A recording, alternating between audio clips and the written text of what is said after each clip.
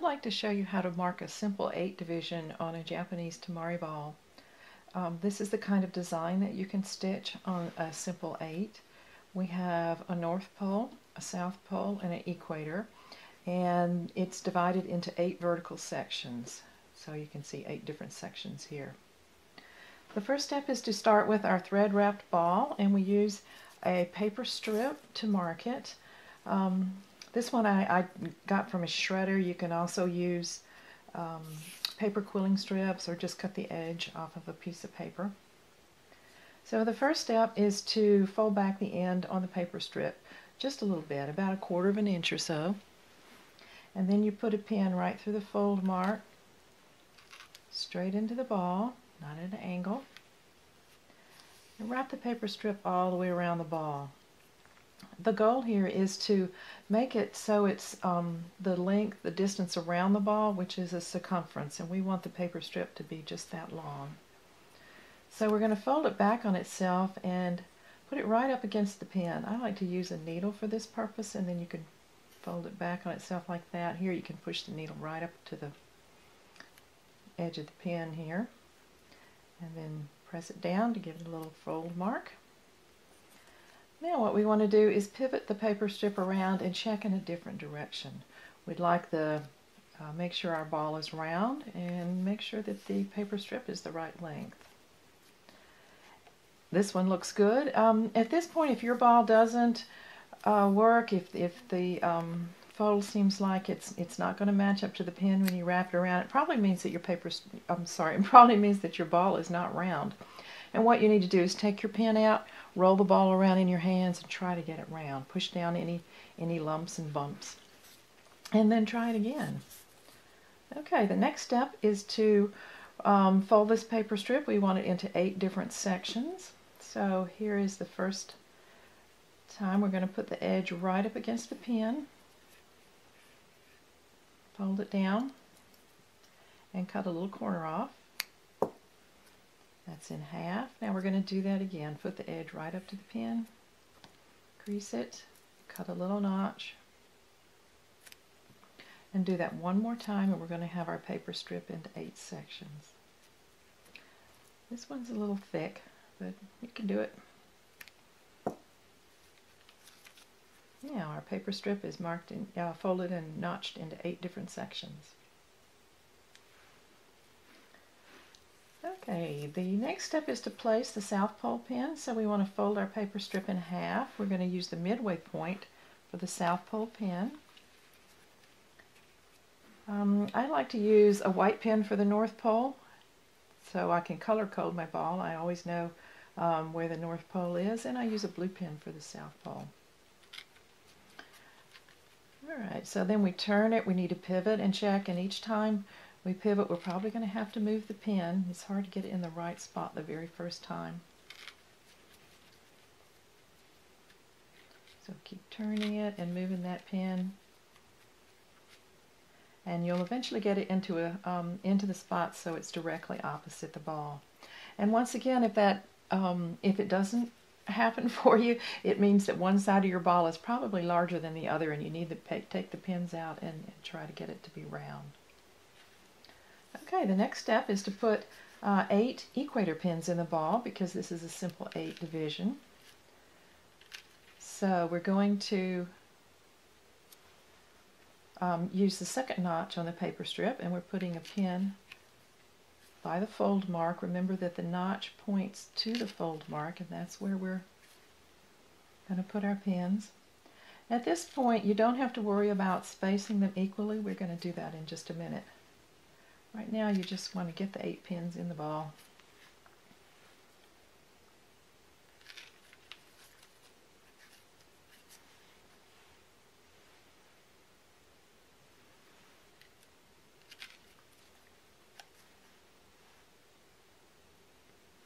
All right, one more. And let's cut the paper strip off the ball.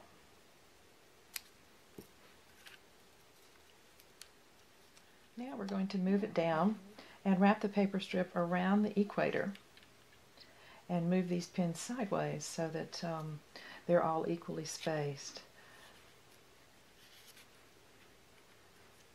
So I like to put where um, the hole where the North Pole pin was, put that on one of your equator pins. And if you pin the paper strip to the ball, uh, makes it just a little bit easier.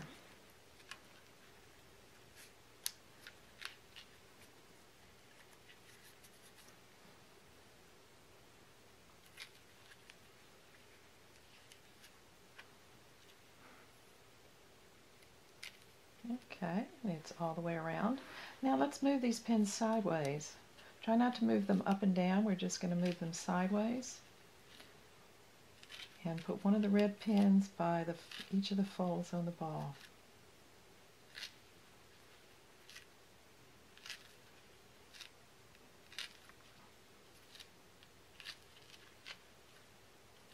Okay, all done. Let's take the paper strip off. And now what we have is um, a north pole, a south pole, and eight pins around the ball. They're all equally spaced. So it's time now to add um, the metallic guidelines to the ball. And I like to work from a comb. This is a product by Rainbow Gallery called Nordic Gold. And what you want to do is to take a needle and um, thread it so it's it's still attached to the comb. Don't cut a length, just leave it attached to the comb. We're going to go down in at the North Pole, come up an inch or so away. We're going to take the needle off of the thread and tie a knot in the end.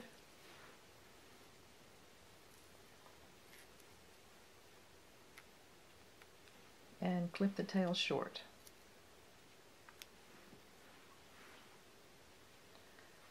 Alright, now go back to where the thread is coming out of the North Pole and pull it through. Sometimes you'll have that, um, you'll be able to pull it hard enough so the knot just pops right down under the thread wrap. In this case, I'm a little worried it might break, so I'm going to use the uh, end of my scissors and tuck that right down under. You can do that anytime you're stitching or adding guidelines, tuck something under, and then rearrange the thread um, right on top. Okay, now it's time to wrap around the uh, vertical guidelines around the ball. So what we want to do is to go past an equator pin, past the south pole, past the equator pin, past the north pole, and then pivot. Now there's a little um, little trick here to getting the threads so they always line up on the same side of the equator pin, and that's always a good idea. So let me back up here and I'll show you what I do. I like to go to the right of an equator pin, to the right of a south pole, to the left of an equator pin, to the left of the north pole, and pivot. So while I'm wrapping, I'm saying in my head, um, right, right, left, left, and pivot. So here we go. We're going right, right, left, left, and pivot. Right, right, left, left, and pivot. Right, right, left, and we're back up at the North Pole. Now all of our vertical guidelines are wrapped around the ball. Um, the next step is to tack the intersections at the North Pole and the South Pole. So what I like to do to save a little bit of time is I'm going to back up now to the South Pole. I'm going to hold this thread in place whenever you um, need to work with the guidelines and you need to stop for a second. You want to make sure you hold that and keep tension on it so it doesn't flop loose. Um, let's cut about 20 or 30 inches from the spool. And we need to thread a needle. Now to thread the needle, I like to place it in the ball there as a little holder.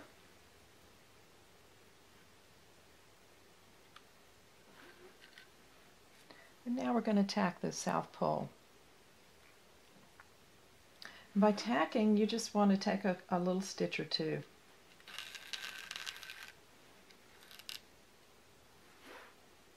This time we're going to just take one stitch.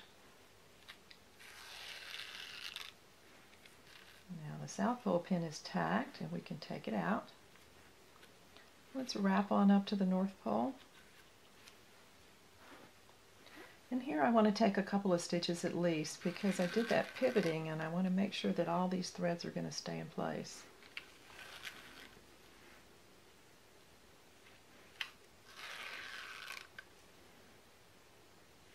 Okay, I'm going to leave the North Pole pin in. Um, I like to leave it in um, while I'm stitching the design too, the whole time, and then I can always tell where I am. Um, the next thing I want to do is to wrap a line around the equator. So to get there, I'm going to stitch underground. It's going to take me a couple of stitches. I couldn't make it in one pass, so um, I came up. Now I'm going to go back down in the same spot. Come up at an equator pin. Okay, now let's wrap all the way around, laying the thread right next to each of the red pins. Here I'm back where I started.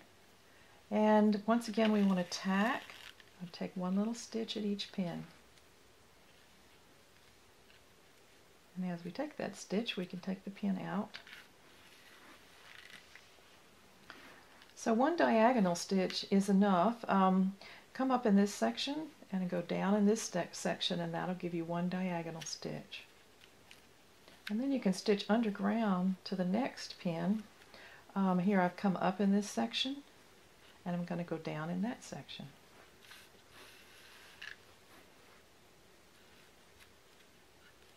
And keep working your way around the ball.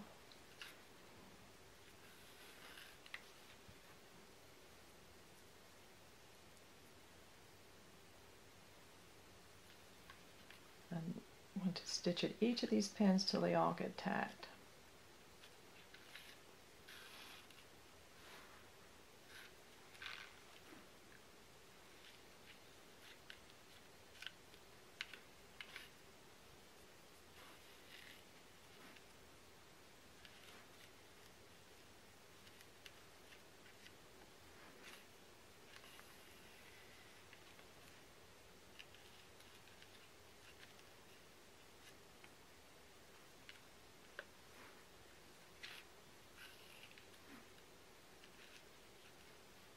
Okay, that's the last one, and to end off, I just come up um, away from where I was stitching, and then just to make sure it's secure, you can take a stitch back in the opposite direction. Put a little pressure on it. If you um, pull it a little bit and clip right close to the thread, wrap that in, it's going to retreat back into the ball. Now, here we're all finished marking. We're ready to stitch. We've got the North Pole pin still in the design in the ball, uh, an equator wrapped, tacked, South Pole pin, all tacked.